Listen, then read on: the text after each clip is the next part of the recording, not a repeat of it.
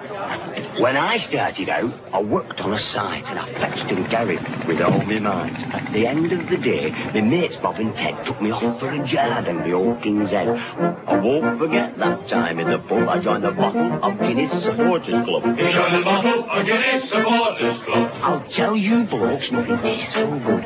Real full-bodied like a man's drink should. From that day on, we worked at such a rate by six each night we built a housing estate. By six, So now, when I'm asked what I'm like in the pub, I'm. In the Bottle of Guinness Supporters Club.